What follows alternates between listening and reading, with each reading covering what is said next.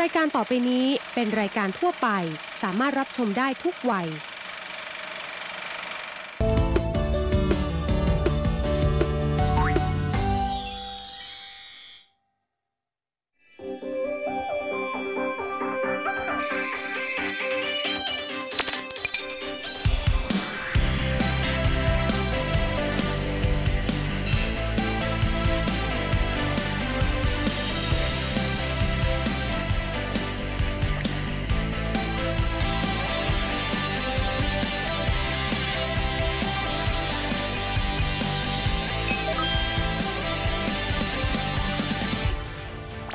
ดประตูสู่มหาวิทยาลัย Teen Style on TV คืนนี้อาจารย์เคนอสมาพร้อมกับวิชาสังคมศึกษา วันนี้เนี่ยเราจะมาเรียนเรื่องที่ค่อนข้างยากแล้วก็เวลาข้อสอบ origin ออกมาเนี่ยแอดมิชชั่นออกมาเนี่ยโหดมากเลยนะ พลาดไม่ได้นะครับนี่แม่มดหรือว่าใครครับเนี่ยจะเอเอาพี่พีนขึ้นมา เอาพี่พีนขึ้นมาอุ้ยถ้าเกิดว่าเราเป็นแม่มดก็ดีนะทำไมจะอะเสกให้น้องๆเนี่ยแอดติดทุกคนเลย โอ้ยใจดีจังเลย ใช่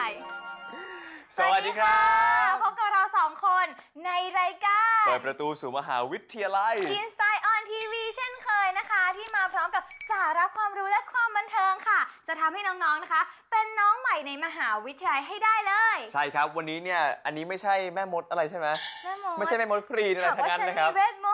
นต์ ถ้าเกิดว่ามีเวทมนต์จริง ๆ แล้วเนี่ยค่ะก็จะเสกให้น้องๆเนี่ยแอดมิชชั่นติด แต่ถูกวันนี้ต้องเนี่ยก็มีข่าวดีครับที่พี่ก้าวพี่พรีนเนี่ยก็เสกมาให้น้องๆเหมือนกัน ใช่แล้วค่ะ ในช่วง Ed News ในวันนี้นะครับ สถาบันเทคโนโลยีพระจอมเกล้าเจ้าคุณทหารลาดกระบังครับ เปิดนะครับรับตรงโควต้าผู้มีผลการเรียนระดับดีมาก คณะครุศาสตร์อุตสาหกรรมครับอ่าหลักสูตรที่เปิดรับสมัครนะคะ ได้แก่หลักสูตรครุศาสตร์อุตสาหกรรมบัณฑิต 5 ปีจำนวน 5 หลักสูตรค่ะครับและหลักสูตรศิลปศาสตร์บัณฑิต 4 ปีจำนวน2หลักสูตรค่ะอืมซึ่งน้องๆนะครับที่อยากจะสมัครโควต้านี้นะครับจะต้องมีคุณสมบัติดังต่อไปนี้คือต้องกำลังศึกษานะครับอยู่ชั้นม .6 หรือว่า ปวชค่ะ3ต้องมี GPAX นะครับ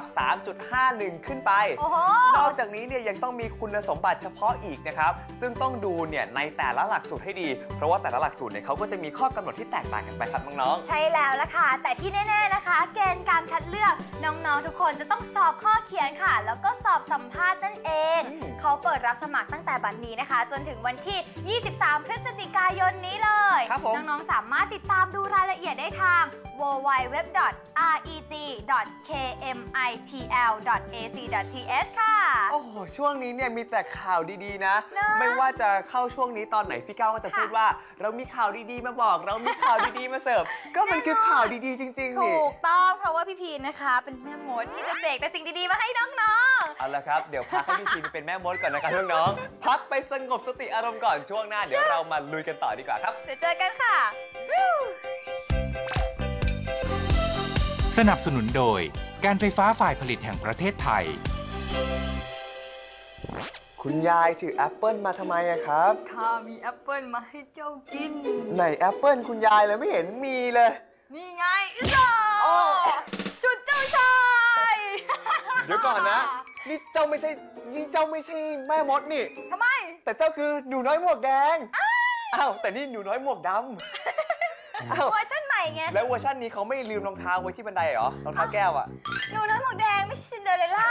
ตกลงนี่แต่ถ้าเจ้าเป็นลืมอะไรแล้วเนี่ยจะไปเก็บให้ไหมคะ อ๋อได้เลยครับเดี๋ยวจะไปตามหาที่บ้านจะไปแกล้งทำหล่นไว้นะคะ เห็นพวกเราสองคนเนี่ยเล่นละครกันขนาดนี้ ค่ะ เพราะว่าวันนี้นะครับคณะที่เราจะพาไปดูในช่วง Open House เนี่ยก็คือคณะนิเทศศาสตร์ สื่อสารการแสดงจุฬาลงกรณ์มหาวิทยาลัยครับน้องๆ ใช่แล้วค่ะ ซึ่งที่นี่นะครับเขามีเป้าหมายที่จะผลิตบัณฑิตเนี่ยให้มีความสามารถในการพัฒนาตนเองในการสื่อสารครับเป็นผู้ที่สามารถนำเสนอหรือออกแบบสารหรือว่า message designer นะครับ และยังมีความรู้ความเข้าใจในสาระของการบริหารกิจกรรมหรือ speech activities ในรูปแบบต่างๆ อีกด้วย ใช่แล้วค่ะจะเห็นได้ว่าเรียนที่นี่นะคะ ไม่ใช่เรียนไปเพื่อเป็นการแสดงหรือว่านักแสดงเท่านั้นค่ะ เพราะว่างานเด่นๆ ด้านนี้นะคะ ก็เช่น งานด้านการเป็นผู้พูด ผู้นำเสนอ งานบริหารวาทกิจกรรม งานพัฒนาทรัพยากรมนุษย์ งานวิเคราะห์และพัฒนาระบบสื่อสารในองค์กรค่ะอืมจริงๆ หลายคนเนี่ยพอพูดถึงคณะนิเทศศาสตร์ ใช่ และยิ่งเป็นเอกของการแสดงเนี่ยก็จะรู้สึกว่า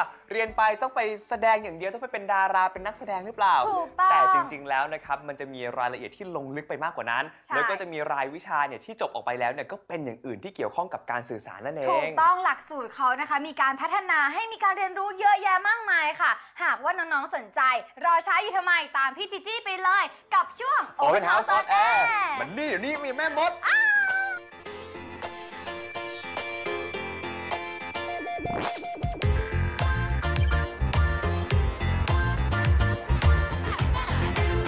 โกบุริค่ะอย่าเป็นอะไรไปนะคะ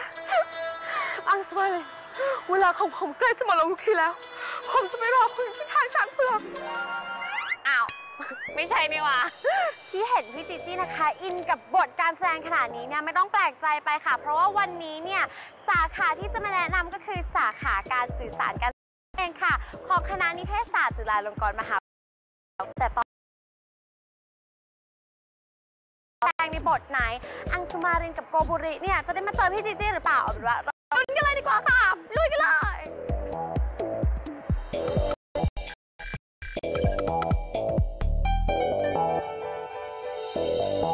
และตอนนี้นะคะ พี่จิจี้ก็อยู่กับคุณครูมิงค่ะ ผู้ที่จะมาให้ข้อมูลความรู้ทุกอย่างเกี่ยวกับสาขาสื่อสารการแสดงค่ะ สวัสดีค่ะ สวัสดีค่ะ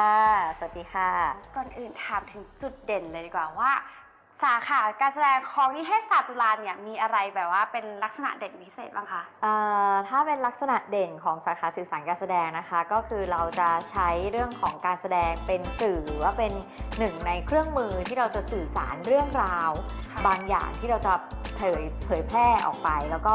นักเรียนที่มาเรียนสาขาสื่อสารการแสดงก็จะต้องสามารถที่จะผลิตงานหนึ่งชิ้นที่เป็นงานของตัวเองนะคะ ที่เกิดขึ้น จากการระดมความคิดเลยของเขาเนี่ยตลอดระยะเวลาในการเรียน 2 ปีที่เข้าเข้าสาขานี้นะคะ เพื่อผลิตเป็นงานการแสดงหนึ่งชิ้นค่ะค่ะถ้าจบไปแล้วอะค่ะ สาขานี้เขาไปเป็นอะไรกันนะ เอ่อต้องบอกก่อนนะคะว่าเรียนสาขานี้ยังไม่เคยมีคนตกงานนะคะ คุณครูมิงรับประกันนะคะน้จริองงๆยังไม่เคยมีคนตกงานเลยนะคะ แล้วก็จะเข้าไปทำงานในบริษัทใหญ่ ๆ ก็ได้ อย่างเช่นบริษัทจัดการแสดงนะคะ event organizer ตอนนี้เยอะแยะมากมาย บางคนก็ไปเป็นนักแสดงในทีวีก็มีค่ะ ๆคุณครูมิงรับประกันแบบนี้นะคะต้องเชื่อเลยค่ะแล้วน้องยังไงวันนี้ขอบคุณคุณครูมิงมากนะคะที่ขอบคุณมากค่ะสละเวลาขอบคุณมาค่ะ ให้ความรู้เรา อังสุมาลินอังสุมาลินอยู่ที่ไหนเนี่ยทำไมฉันมาแล้วอย่าทิ้งฉันเองนะฉันมีวันทิ้งเธออยู่แล้วพอไหมล่ะน้องๆค่ะและนี่ก็คือไกด์พาทัวร์ของพี่จีจี้นั่นเองว้าววันนี้เกาหลีไปที่ไหนบ้างคะ วันนี้โกบุริต้องเรียน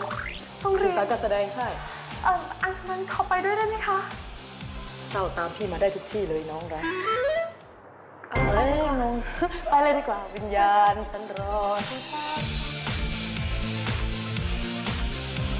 ที่ไหนเลยจะเที่ยวเท่าคนเจ้าชู้มันต้องมีแบบที่ไหนเลยแต่ไม่ชู้ด้วยนะใช่ไหมเจ้าชู้ต้องได้เจ้าชู้เพราะกำลังตัดร้อนอยู่อะเออคนเจ้าชู้แต่จะไม่แบบว่า ที่ไหนเลยเที่ยวเท่าคนเจ้าชู้ ผมค่อยๆย่องเดินตามผนังห้องนอนยืนนิ่งๆอยู่ครู่หนึ่ง แล้วแย้มแล้วแย้มหน้าช้าๆออกไปแอบดูว่าเจ้ากาตัวนั้นมันยังเกาะที่เก่าอยู่หรือเปล่า พี่น้ำตาลคะช่วยบอกน้องๆหน่อยดีกว่าว่าเมื่อกี้เราไปทำอะไรกันมา ก็ตะกี้เนาะพวกเราก็ เป็นแบบว่าคลาสฝึกเสียง ฝึกการใช้เสียง หรือชื่อวิชาก็คือ vocal training and oral interpretation ยาวทีนี้ผมแย้มบานรวดออกเงาดำของมันก็ถามรวดเดียวถึงผมความรู้สึกบอกผมว่าเป็นการเคลื่อนไหวที่เป็นประสาทบาสกิจผมตกใจจนแทบสิ้นสติยกมือขึ้นปั่นและพยายามดึงบานรวดที่ปิดเข้ามา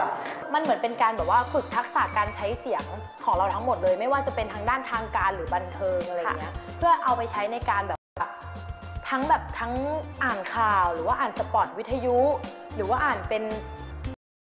ต่างๆนานาการพากย์เสียงอะไรแบบนี้ ซึ่งถ้าสมมติว่าบางคนรู้สึกรู้สึกว่าตัวเองเนี่ยเสียงดีแต่ว่าถ้าเราใช้ไม่ถูกต้องอะมันก็จะเอาไปใช้การไม่ได้เนาะแต่อ้าปากที่กว้างที่บอกมันจะช่วยจริงๆเหรอผมตัดสินใจในวินาทีนั้นเด่นบานมุ้งลวดให้เปิดออก ผมเกิดจะตะโกนไล่มันแบบผมพี่น้ำตาลคะแบบนี้เนี่ยเราจะไปที่ไหนกันต่อดีคะ ก็เดี๋ยวเราไปห้อง acting กัน acting อ๋ออ๋ออ๋ออย่างนี้นะคะ ไปทางไหนคะทางนี้เลยค่ะใช่ไหมคะโอ้โหคุณต้องมีท่า ท่า ท่า acting ไปเลยใช่ไหมคะ สามช้อยส์แรกครูจะเซตก่อนนะคะครูจะเป็นคนบอกว่าที่นี่ที่ไหน แล้วเราไปทำอะไรที่นั่น เราเป็นใครแล้วไปทำอะไรที่นั่น เราใช้เฉพาะภาษากายใช้เฉพาะ business gesture ภายนอก อันแรกไม่ยากเพราะครูจะเป็นคนกำหนดให้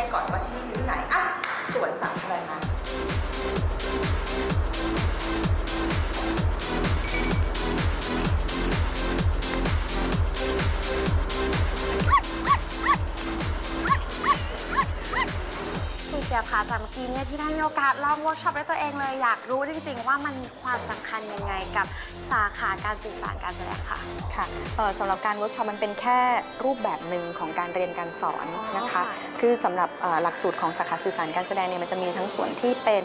เอ่อ acting แล้วก็ directing นะคะที่จะเป็นวิชาในศาสตร์ของการแสดงทีนี้นอกเหนือจากความเป็นการแสดงเนี่ยเขาก็ต้องมีความรู้เกี่ยวกับเรื่องบท เรื่องประวัติศาสตร์ การละคร เรื่องวิธีการเทคนิคถ่ายทอดเรื่ององค์ประกอบศิลปะ อะไรก็ตามที่มันจะมารวมกันแล้วสามารถผลิตงานการแสดงได้หนึ่งชิ้น พอปี4เขาก็จะเรียนเรื่องของการกำกับ แล้วในขณะเดียวกันเขาก็จะเรียนองค์ประกอบอื่น ๆ ไปพร้อม ๆ กันได้ผ่านเรือถีบซึ่งซึ่งพอได้ผ่านเรือถีบแจ้จะวิ่งตรงนั้นเอ้ยไม่ใช่ออยวิ่งตรงนั้นไม่ได้แล้วเนาะเพราะมันเป็นน้ำพอเขาเขาเริ่มอา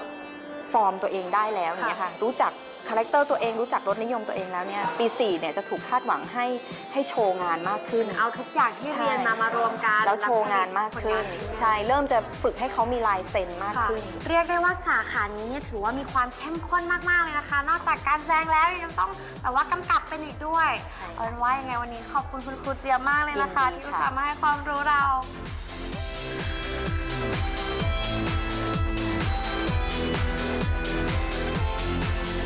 อย่างที่เราเคยบอกจิจี้เนาะว่าละครนิเทศอะเป็นหนึ่งในแรงบันดาลใจเราเลยที่เราอยากเข้าภาคการสื่อสารการแสดง ซึ่งวันนี้เราก็เลยอยากพาทุกคนอะมาพบกับละครนิเทศว่าละครนิเทศเนี่ยจะเป็นยังไง ซึ่งในปีนี้อะชื่อละครชื่อว่า The Villa Smaris ขอเซอร์วิสให้วินิสมาราคือชื่อแบบว่าหรูหราอลังการมากอย่าแต่อย่างที่เห็นอยู่นี่คือเขาอ๋อเขามีส่วนเกี่ยวข้องกับละครนิเทศไหมคะ ใช่ก็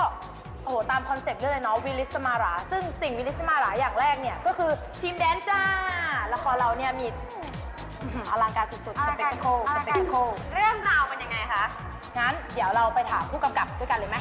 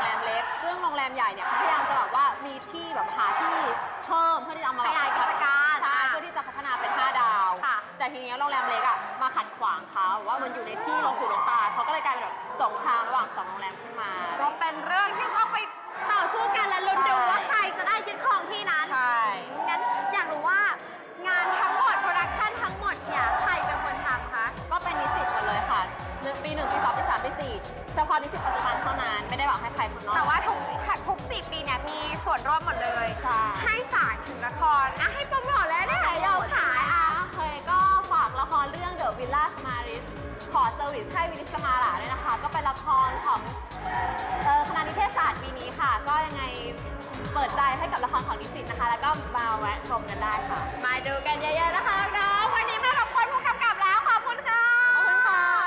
นายเป็นแค่พนักงาน นายกล้าพูดแบบนี้กับฉันได้เหรอ มีมารยาทปะเนี่ย ผมขอโทษครับ ผมไม่ได้ตั้งใจ ขอโทษนะครับพี่น้ำตาลคะเรียกได้ว่าวันนี้เนี่ยทั้งคุ้มทั้งเหนื่อยเลยนะคะ ไปดูทั้งเอ่อการเรียนร้อง การเรียนการแสดงใช่แล้ว ก็ได้ไปดูการเวิร์กช็อปกันอีกโหครบครันจริงๆ เอาเป็นว่าอยากให้พี่น้ำตาลเนี่ยฝากอะไรถึงน้องๆที่ชอบทางด้านสายทางนี้หน่อยค่ะ ก็อยากให้ถ้าน้องๆ รักในสิ่งนี้จริง ๆ รักในการแสดงหรือรักในการละครเนี่ยอยากให้เข้ามาเป็นส่วนหนึ่งของที่นี่นะคะ เพราะว่าถ้าเราได้เรียนในสิ่งที่เรารักอะ่ะเราก็จะมีความสุข ถ้าเราทำในสิ่งที่เรารักอะ่ะเราจะทำมันได้ดีเอง สวยค่ะ หรือว่าอย่าลืมนะคะน้องๆทำในสิ่งที่ตัวเองรักค่ะ แล้วน้องๆจะประสบความสำเร็จเองสำหรับวันนี้บ๊ายบายค่ะ เราไปทำสิ่งที่ตัวเองรักกันดีกว่าค่ะ วิญญาณสันโดดานจ้า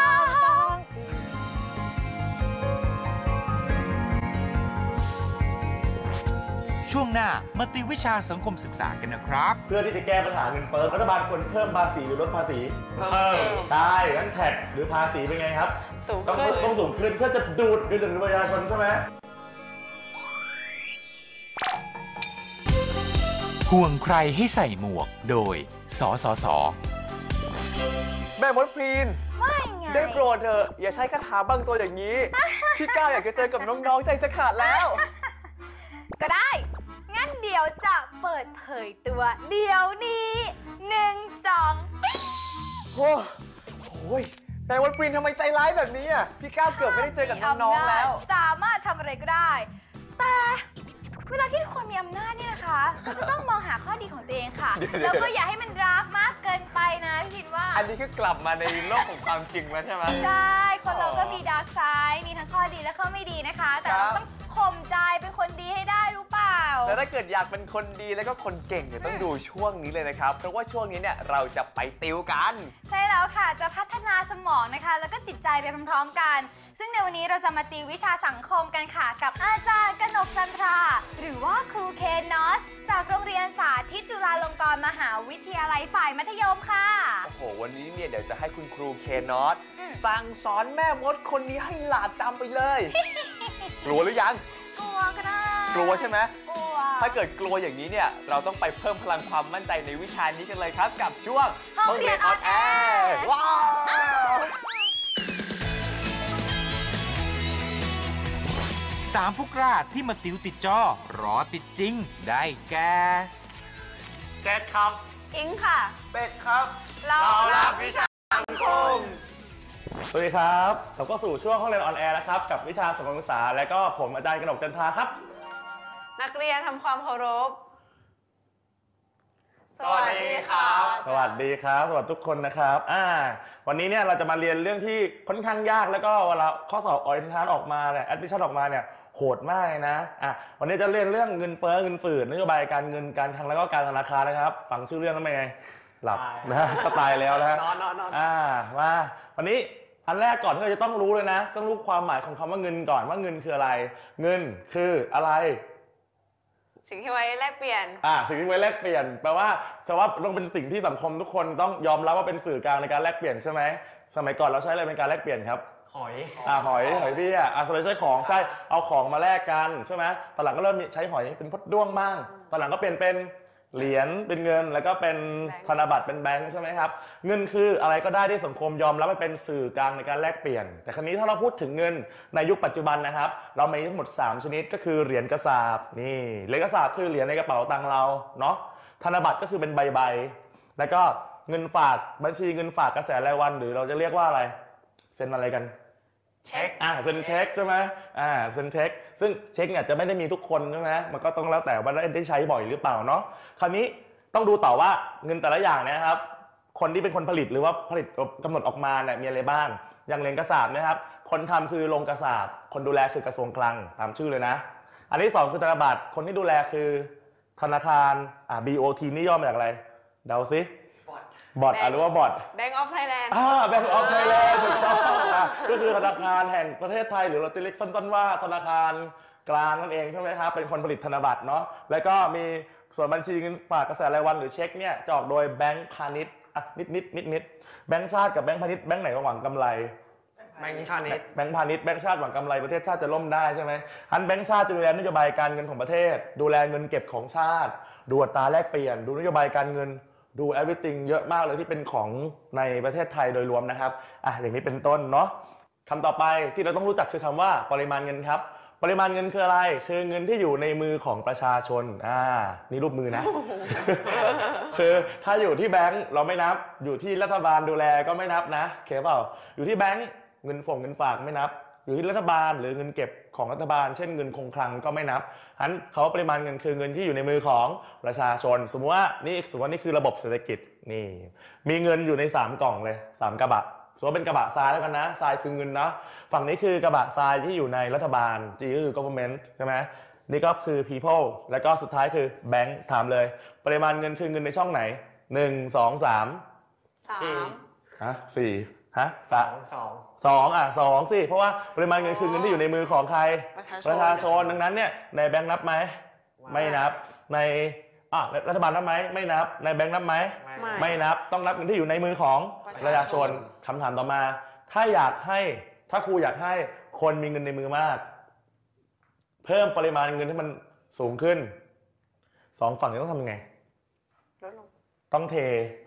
ใช่ไหมเททรายเทเงินให้ตรงกลางถูกไหมอันนี้ก็จะบวมออกนึกภาพนะเหมือนเราเติมลมใช่ไหมแต่ถ้าเกิดอยากให้คนมีเงินในมือน้อย หรือปริมาณเงินน้อยสองฝั่งต้องทำไงดึงออก ก็ต้องดึงออกนั้นแสดงว่าปริมาณเงินในมือประชาชนเนี่ยจะมีมากหรือน้อยขึ้นอยู่กับการปล่อยเงิน หรือเก็บเงินของรัฐบาลหรือไม่ก็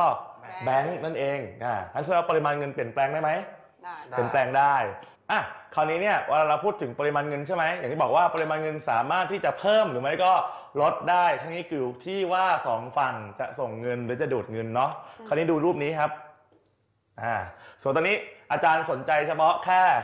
ช่องรัฐบาลกับช่องประชาชนอะช่องนี้เนี่ย ช่องไหนเยอะกว่ากัน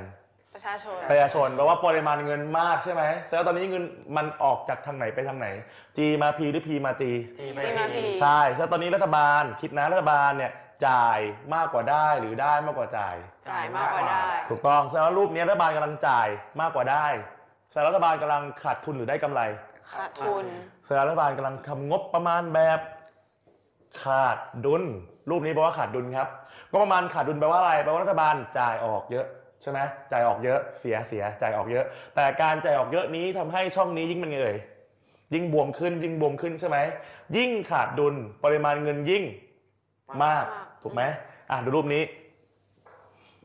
รูปนี้ นี่เลย โอ้โห เป็นไง รูปนี้ปริมาณเงินมากหรือน้อย น้อย น้อยแต่ว่าตอนนี้เงินมันไหลไปทางไหนครับ รัฐบาล รัฐบาลรูปนี้แปลว่ารัฐบาลได้มากกว่าจ่าย หรือจ่ายมากกว่าได้ ได้มากกว่าจ่าย ถูกต้องรัฐบาลได้กำไรหรือขาดทุนกำได้ไรกำไร กำไร ก็งบประมาณแบบอะไรนั่นเองเกิน เออเกินดุลแสดงว่ายิ่งทำงบเกินดุลปริมาณเงินยิ่ง มากหรือน้อย น้อย ยิ่งน้อย เพราะมันถูกสูบเข้าเข้าใจใช่ไหมครับ แสดงว่าปริมาณเงินจะมากหรือน้อยขึ้นอยู่กับช่องนี้ถูกไหมอ่า คราวนี้มาดูนี่ฟึบโอ้โหไฮโซเด็ดนะฮะรูปนี้ครับ ดูต่อครับ อะ รูปนี้ฟึบฮึบฮึบนี่คือรัฐบาลนะ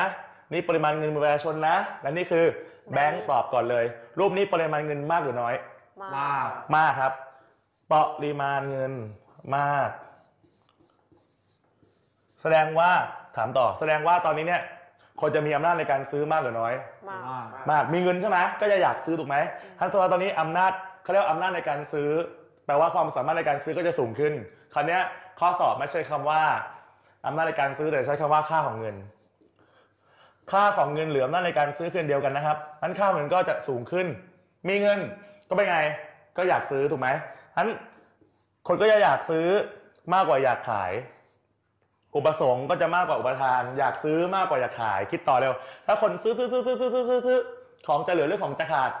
ค่ะนั่นแปลว่าสิ่งที่เกิดขึ้นต่อมาคือของขาดตลาดขาดเสร็จปุ๊บคิดต่ออนาคตราคาจะถูกหรือจะแพงแพงถูกต้อง ก็คือราคาสินค้าในตลาดเป็นไงครับ มันจะสูงขึ้นทั้งตลาดถูกไหมมันไม่ได้แพงเฉพาะบางชิ้น แต่มันจะแพงตลาดเลยเนาะสูงขึ้น ทั้งหมดที่พูดเนี่ยคือเงินเฟ้อครับ เงินเฟ้อคือภาวะที่ของมันเป็นไงเอ่ย มันแพงขาดตลาด ถูกต้อง มันแพงเพราะอะไรเหรอ เพราะว่าคนเรามีเงินเยอะ เราอยากซื้อเราซื้อมากของขาดมันเลย แพงทั้นข้อสอบเราก็จะถามเราก็จะถามว่ารู้ได้ไงว่าตอนนี้เกิดเงินเฟ้อให้ดูที่อะไร ระหว่าง 1. ดัชนีราคา 2. ดูที่ปริมาณเงิน ดัชนีราคา ต้องดูที่ตัวนี้ใช่ไหมเดินเซอร์เวย์ราคาเลยก็จะรู้ใช่ไหมดัชนีราคาครับชึบอนาคตคิดซิของมันแพงขึ้นเรื่อยๆเรื่อยๆเรื่อยๆเลย พ่อค้าก็จะหัวใสจะขายเลยเปล่าไม่ ไม่ เก็บดีกว่า เก็บว่าแล้วขายตอนไหนแพงมากเราเรียกว่าการเก่งๆกำไร อ่าเก่งราคาหรือไม่ก็เก่งอะไรนั่นเอง เก่งกำไรใช่ไหมจะเกิดการกักตุนสินค้า สินค้าถูกต้องครับ เพื่ออะไรครับ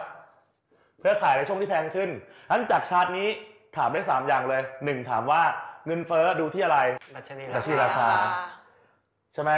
สาเหตุคืออะไรครับ ปริมาณหเงินึ่งสองสามสี่นี่คือสาเหตุใช่ไหมแล้วผลของเงินเฟ้อคือข้อไหน เก่งนี่กำไรกล่องนี้เห็นปะนั่นแปลว่านี่ได้ถึง 3 ข้อนะ คราวนี้เวลาเราแก้เงินเฟ้อแก้ไงชิคชิคซิชิคซิเงินเฟ้อเกิดจากตัวนี้มันบวมใช่ไหมมันมันพองออกใช่ไหมอันแก้แก้ไงดีสองฝั่งทำไง ก็ทำให้มันก็ต้อง ดูดเข้าไป ถูกต้องก็ต้องดูดเงินออกถูกไหมดูดเงินออกใช่ไหมคิด ถ้าเกิดอะเป็นสีก่อนนะทะแดวันนี้หลายสีมาก ถ้าเกิดรัฐบาลเป็นคนออกนโยบายใช่ไหมครับ เราจะเรียกชื่อสวยๆว่านโยบายการคลังครับ นโยบายการคลัง เวลาข้อสอบถามเราจะถามว่า ข้อใดเป็นนโยบายการคลังที่แก้เงินเฟ้อต้องเช็คนะ เพราะถ้าการคลังแปลว่าใครเป็นคนออกตอบรัฐบาลใช่ไหมแต่ถ้าเกิดนโยบายการเงินจะออกโดยใครแบงค์แบงค์ออกโดยแบงค์ถูกต้องอ่าออกโดยแบงค์ถูกต้องเป็นสีครับ นี่ชอบเป็นเลยสีเยอะนะเนี่ยมาเริ่มอะรูปนี้ก่อน รัฐบาลครับ ควรจะรูปนี้นะรูปนี้นะ รัฐบาลควรจะจ่ายมากกว่าได้หรือได้มากกว่าจ่าย ได้มากกว่าจ่าย เห็นไหมลูกศรพุ่งเข้าที่รัฐบาลใช่ไหมรัฐบาลจะต้องได้มากกว่าจ่าย แสดงว่ารัฐบาลได้กำไรหรือขาดทุน ได้กำไร ก็คือทำงบประมาณแบบเก่งเกินดุลถูกไหม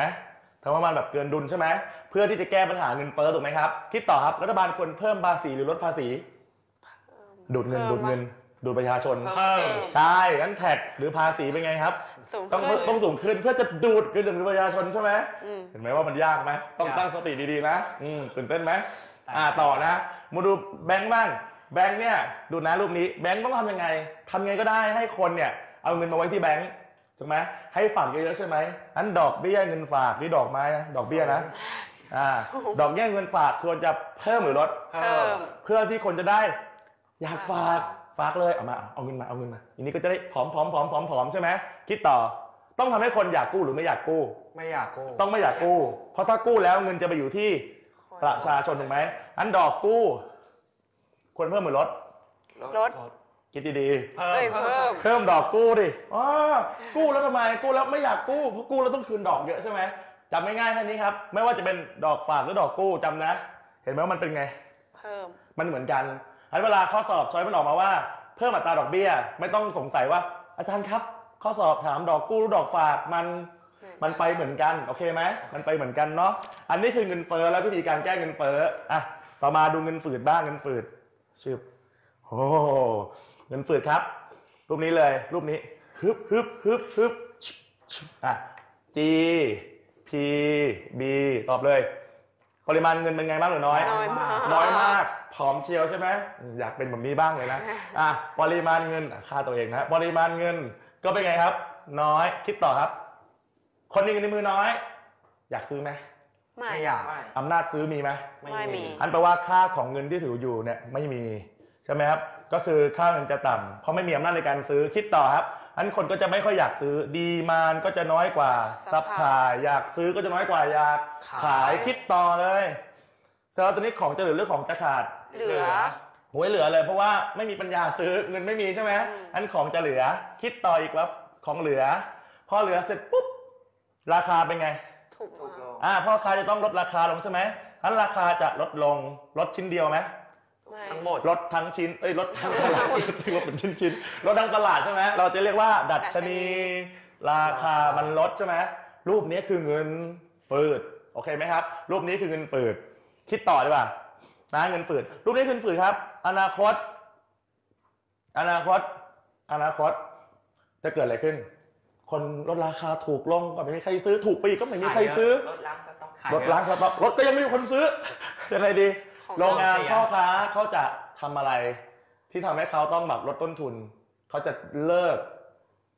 การจ้างงานก็ออกไหมอันก็จะเกิดปัญหาอะไรครับ ตกคนงาว่างงานอ่าปัญหาตกงานปัญหา ว่างงานเศรษฐกิจจะเป็นไง ตกต่ใช่เขาเรียกว่าเศรษฐกิจตกต่ำสกคือเศรษฐกิจ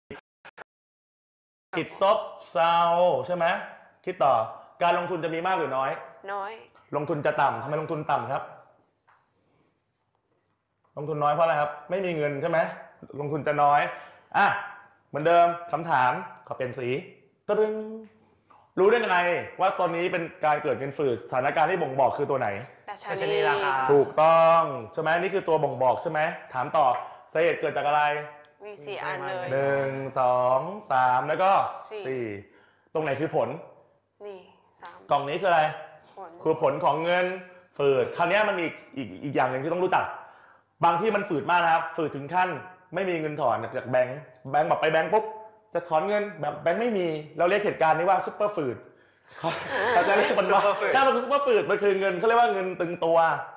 นี่เงินตึงตัวเงินตึงตัวคือเงินซุปเปอร์ฝืดคือแบบไปถึงแบงค์แบงค์พาณิชย์ก็ไม่มีเงินให้เรากู้เลยนะนี่ฝืดมากโอเคไหมครับ ดูจากสไลด์เร็ววิธีแก้แก้ไง ตรงนี้มันแฟบสองฝั่งทำไงดี ให้เงิน ให้เงิน ถ้าเทเงินมาให้ตรงกลางถูกไหมเทมาเลย เทมาเลยอะจากรูปต่อไปชื่นใจต่อไปชื่นใจนะครับ ต่อไปชื่นใจอะ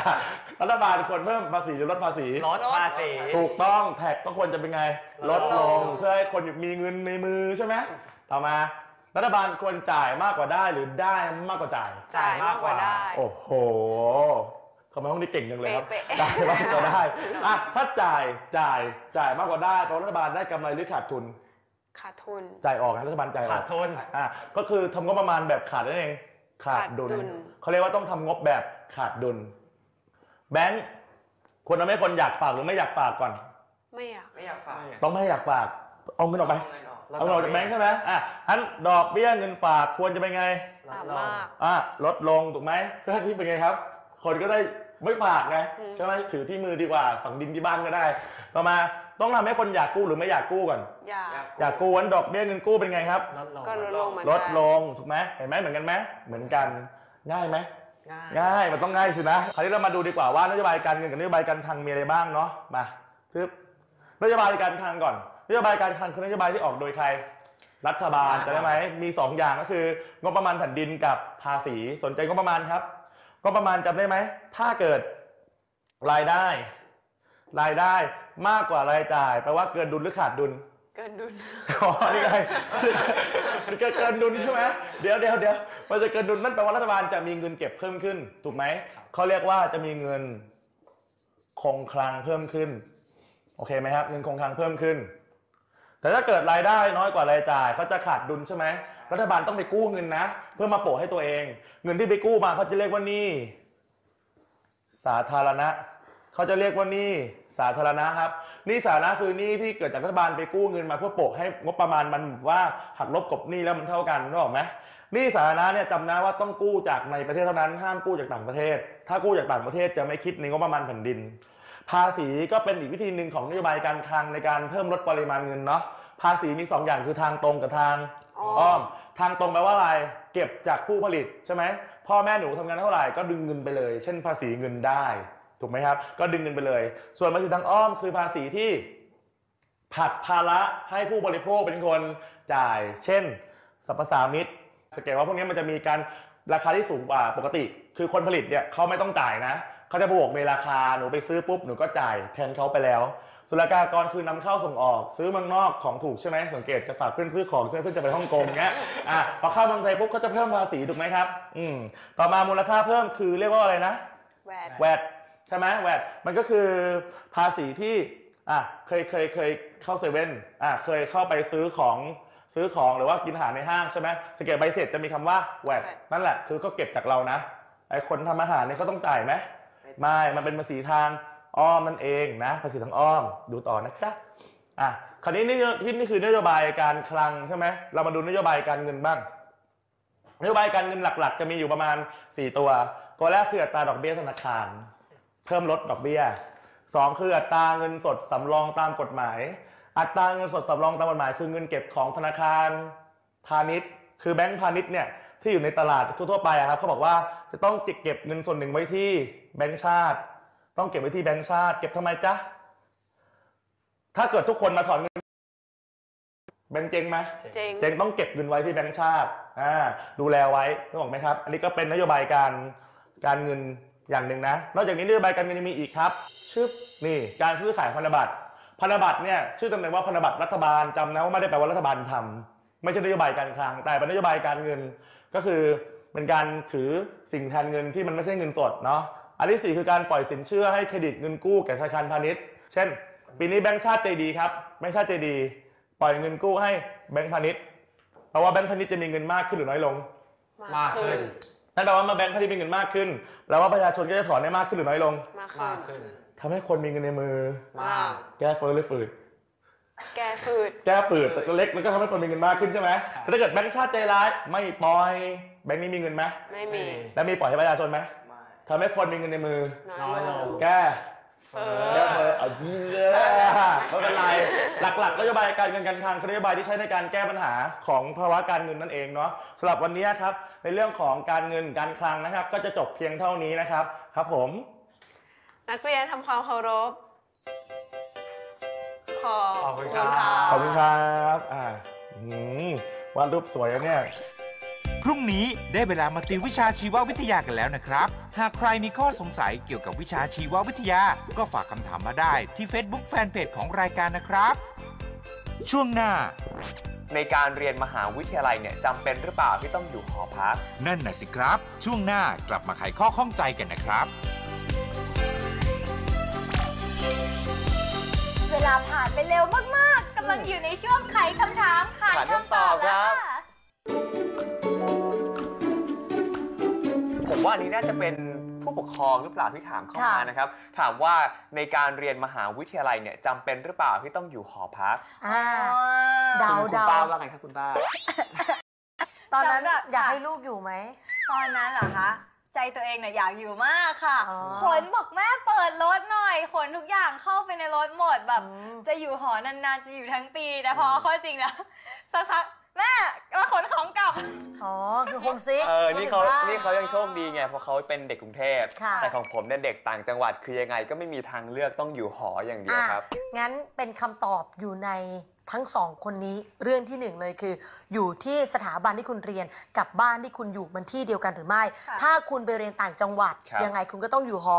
ถ้าคุณอยู่ต่างจังหวัดแล้วมาเรียนกรุงเทพ คุณก็ต้องอยู่หออแต่มีบางประเภท ครับอย่างเช่น มสวนครนายก ค่ะ ถ้านครนายก โซนปทุมธานี โซนนครนายก โซนรังสิต ก็ตั้งคำถามว่าฉันก็พอจะไปกลับได้บังคับหรือเปล่า หรือแม้แต่อย่างกรณีแม่ฟ้าหลวงอยู่เชียงราย ครับถ้าพี่ก้าวไปเรียนต้องอยู่หอแน่ ใช่ แล้วถ้าคนเชียงรายล่ะ เออแล้วคุณชนะเขาต้องอยู่ไหมอ่าอะนั่นไงมชอยู่เชียงใหม่ ถ้าน้องพรีนสอบติด ยังไงน้องพรีนจะร้องไห้คิดถึงคุณพ่อคุณแม่ ก็ไม่สามารถเอารถขนของกลับมาบ้านได้ จริงค่ะ ยังไงก็ต้องอยู่หอ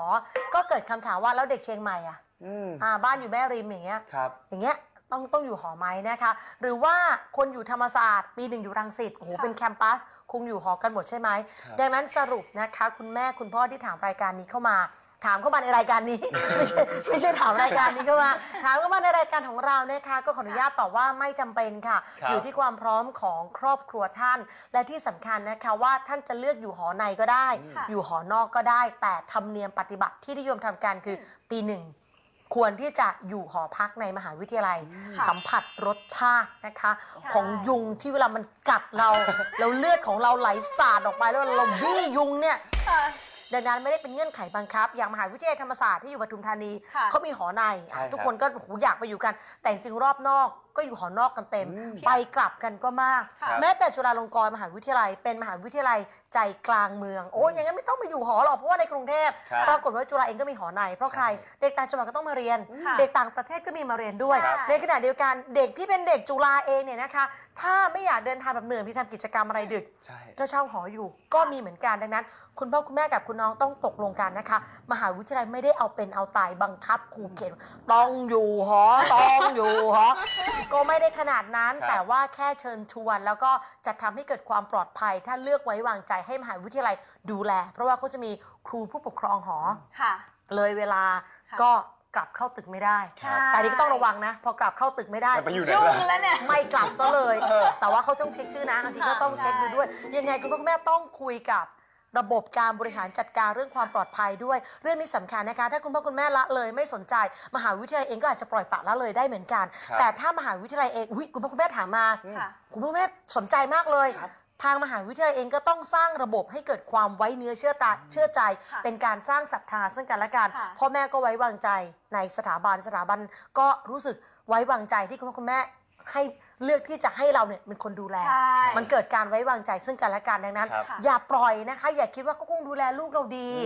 แต่ก็อย่าไปคิดในแง่ร้ายก็คงไม่ดูแลลูกเราเลย ครับ ค่ะ ก็มันก็สุดขั้วเกินไป โอเค วันนี้ชาวหอต่างๆนะค่ะ เดี๋ยวขอดูมือชาวหอหน่อยฮะ เออ เยอะอยู่นะ ค่ะ นะครับ ถ้าเกิดใครอยากเป็นชาวหอเนี่ยสิ่งที่สำคัญเลยก็คือสอบให้ติดมหาวิทยาลัยก่อนนะครับ ขอบคุณพี่นัทมากๆครับยินดีวันนี้ ค่ะ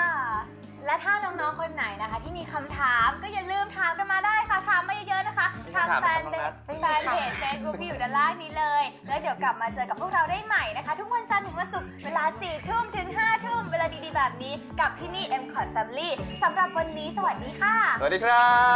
บไปหอดูดาวกัน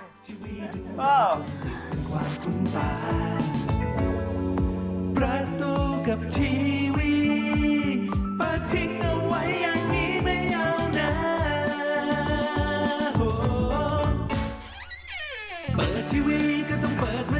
ดูก็ต้องเปิดประตูกันดีกว่า เปิดประตูถ้าได้เปิดทีวีมีแต่สิ่งดีๆที่มากกว่า เรียกว่าเป็นความมุ้งมิงจะเรียกว่าฟรุ้งฟริ้งก็ไม่ผิด เป็นรายการดีนะตีสนิทเป็นรายการที่สไตล์มีความคิด ถ้าได้ดูกันแล้ว ต้องแอบติด